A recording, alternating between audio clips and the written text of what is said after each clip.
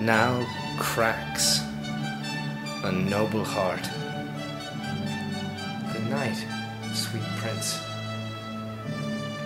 And flights of angels sing me to thy rest.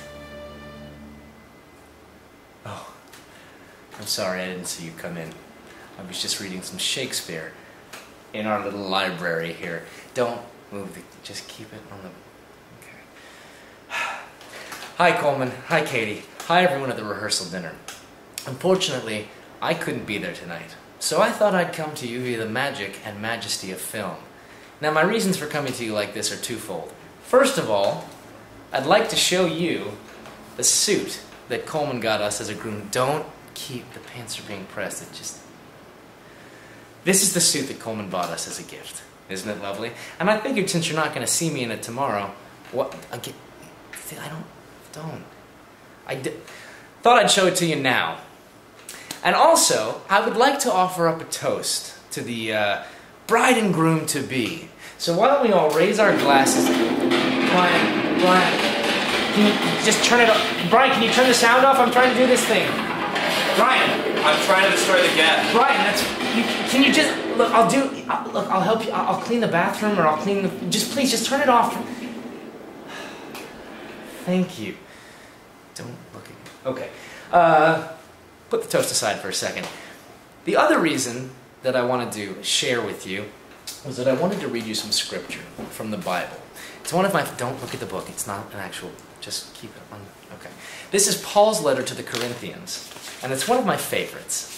So I'd like to read it to you now. Okay. Love is patient. Love is kind. It does not envy. It does not boast. It is not rude. It is not self seeking. It is not no record of wrongs. It's good stuff. Love does not, but rejoices with the truth.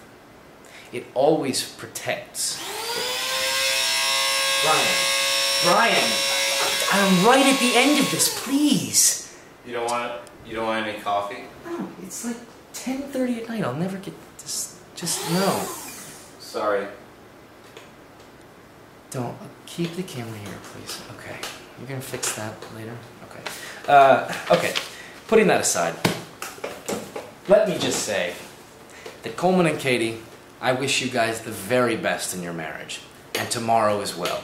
And Katie, the first day I met you, I knew that you and Coleman were a perfect match, and I'm so sorry I can't be there with you today. I hope tomorrow is as beautiful as it seems like it's going to be, and that tonight is a wonderful time for everybody there. So please, have a fantastic wedding and a great honeymoon. And I'm sorry I'm not there. But this is my gift to you guys. So, cheers. That's that's the gift you're gonna give them.